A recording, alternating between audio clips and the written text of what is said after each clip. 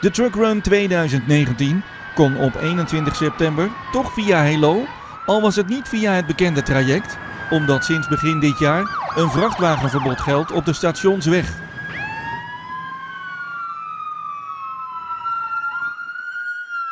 Er was een alternatieve route over de Hoeverweg, N9 en Kennemerstraatweg geregeld met medewerking van de gemeente en provincie.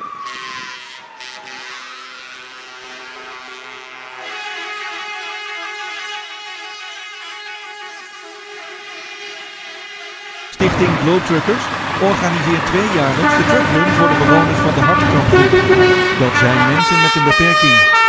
De vrachtwagenbestuurders van de trucks haalden de bewoners op bij Hartenheem in Heemskerk en daarna reden ze in kolommen via Castricum, Egmond, Alkmaar, Heilo, Limmen en Beverwijk weer terug naar Heemskerk.